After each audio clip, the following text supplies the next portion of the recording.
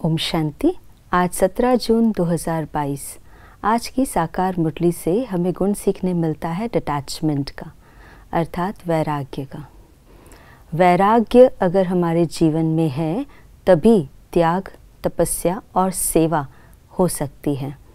अगर वैराग्य नहीं है तो त्याग करना मुश्किल लगता है, और त्याग नहीं है तो तपस्या भी नहीं होती है। और जीवन में अगर हमने तपस्या करके अपने आप को शक्तिशाली नहीं बनाया है तो सेवा करने में भी डिफ़िकल्टीज आती हैं। इसीलिए बहुत इम्पोर्टेंट है वैराग्य।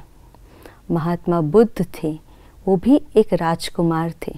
जब उन्हें भी वैराग्य आया तो उन्होंने अपने सारे राजपाट का त्याग किया, फिर तपस्या की और उस तपस्या के बल से जो अपने जीवन में धारणा की, उसके आधार से सबकी सेवा की। ब्रह्मा बाबा, जिन्हों को भी साक्षात्कार हुए। पुरानी दुनिया के महाविनाश के साक्षात्कार।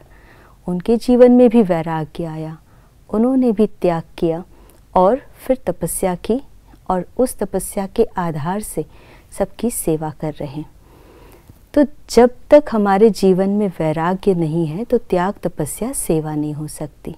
अगर इस पुरानी दुनिया में किसी भी चीज़ में रस ले रहे हैं, राग है तो हमारा त्याग तपस्या सेवा पॉसिबल नहीं है या बहुत डिफ़िकल्ट लगेगा।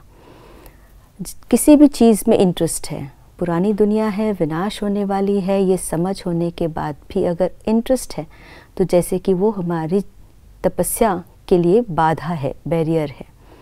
चाहे वो कोई भी प्रकार का इंटरेस्ट हो, घूमने फिरने का, खाने पीने का, या फिर हमें धन इकट्ठा करने का, साधनों का इकट्ठा करने का कोई भी रस अगर है तो वो हमें त्याग करने में डिफ़िकल्टी लाता है और तपस्या सेवा पॉसिबल नहीं होती है।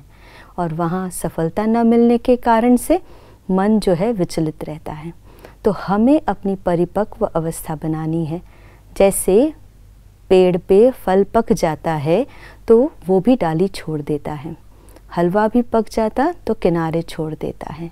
तो परिपक्व अवस्था के निशानी। वैराग्य से त्याग, तपस्या और सेवा होगी।